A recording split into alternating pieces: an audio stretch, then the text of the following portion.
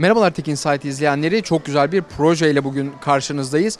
Projenin ismi Bin Çiftçi Bin Bereket. Aslında tarımda dijital dönüşümü anlatıyor bu proje ve taşın altına biraz da elini koyuyor. Neler yapıyor? Bu proje tam olarak ne? Ve hangi alanlarda nasıl kullanılacak? Bunlarla ilgili bilgi almak için biz de Yönetim Kurulu Başkanı, Kargil'in Yönetim Kurulu Başkanı Sayın Ediz Aksoy'a mikrofonlarımızı uzattık. Öncelikle teşekkürler. Şimdi Bin Çiftçi Bin Bereket projemiz Kargil'in yaptığı kurumsal sosyal sorumluluk projesi. Bu projede bizim amacımız e, bin tane çiftçimizin dijital dönüşümünü sağlamak.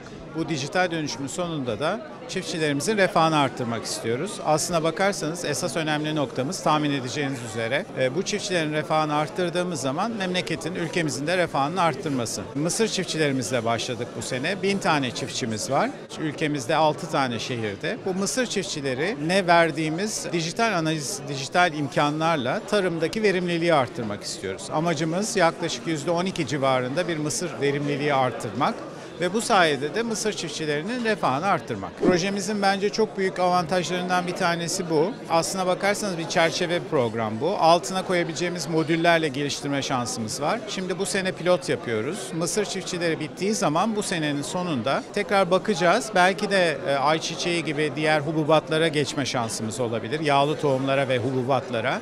Veyahut da mısır çiftçilerinin başka bölgelerde çalışma şansımız olabilir. Dolayısıyla her birini geliştirme imkanımız olacak zaman içerisinde ama sene sonunda hasatta ilk pilotun sonucunda ne olacağını görüp ona göre tekrar başlayacağız önümüzdeki sene için. Orijinalde planımız 3 senelik bir proje ve dediğim gibi bu bir sosyal sorumluluk projesi.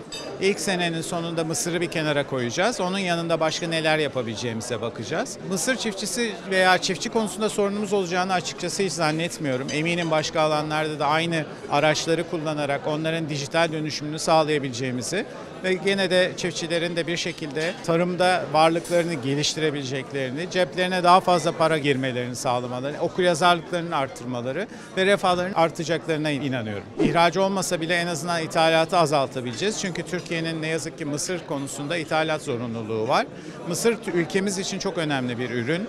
Dolayısıyla mısırı geliştirdiğimiz zaman ithalatı azalacağımıza inanıyoruz.